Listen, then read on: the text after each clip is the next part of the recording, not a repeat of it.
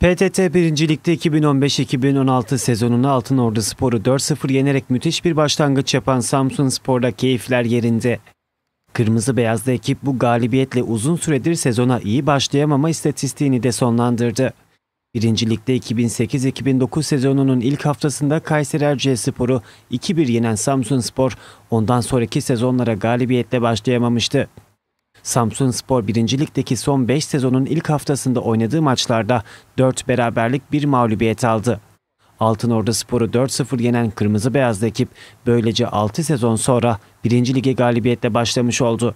Samsun Spor Süper Lig'de mücadele ettiği 2011-2012 sezonuna ise Gençler Birliği'ni 3-2 yenerek 3 puanla başlamıştı.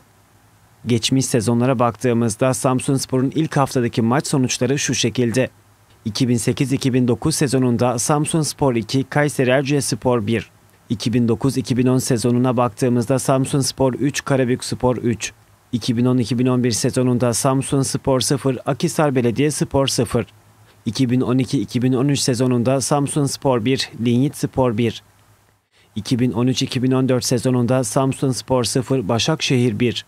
2014-2015 sezonunda Samsun Spor 0, Giresun Spor 0 ve 2015-2016 sezonunda Altınordu 0, Samsun Spor 4.